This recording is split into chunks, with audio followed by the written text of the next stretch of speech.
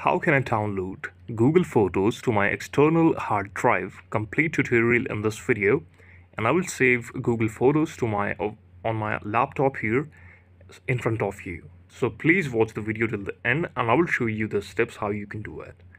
Firstly, access to the Google Photos from where you want to save the photos on your PC. Click on official website of Google Photos here and open it on your laptop. As you can see, I have this one photo on my Google Photos here. For saving it, I will click on the right of, of the screen and click on the download button. As you can see, that is successfully downloaded on my laptop right now. Here, I will show you that where it, it is saved on your PC.